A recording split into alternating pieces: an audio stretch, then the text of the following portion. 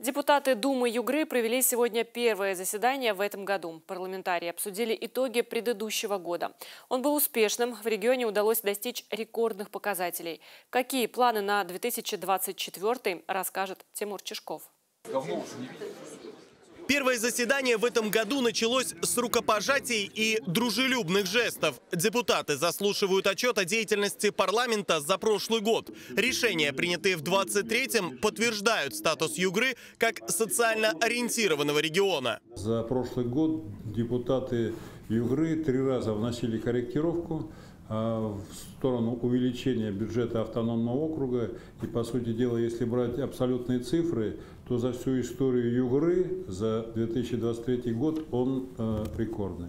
Поэтому я считаю, что округ уверенно прожил прошлый год и уверенно смотрит в текущий 24 -й. В течение года приняты новые меры поддержки отцовства, материнства и детства. Также социально незащищенных категорий граждан. Льготы вводились в соответствии с потребностями людей. В новом 2024 объявленном президентом годом семьи, а в округе годом взаимопомощи работа усилится. Особенно в помощи участникам СВО и их семьям. Практически на каждом заседании Думы а, какую-то дополнительную меру поддержки или для участника специальной военной операции, или для членов их семей а, приводим э, дополнительно.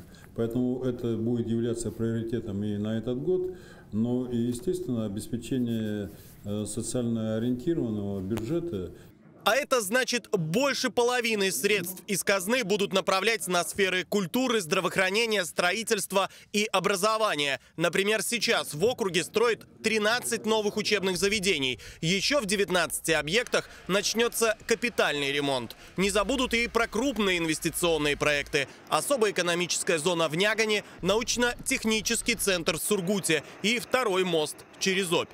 Тимур Чешков, Александр Шималин, Вести Югория, Ханты-Мансийск.